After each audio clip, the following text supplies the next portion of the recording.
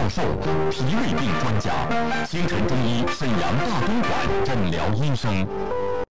我是星辰中医刘守义，现在我与大家分享风寒眩晕方。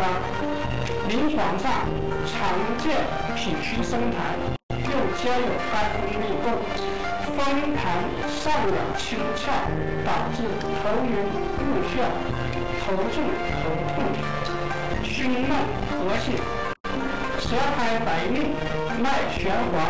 正所谓珠峰吊泉，皆属于肝，无痰不作旋。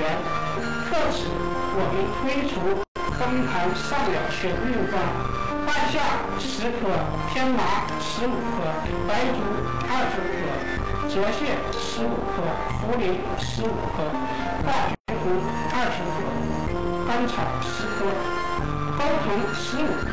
用法水煎服，每日一剂，十五天，微一疗程，功效。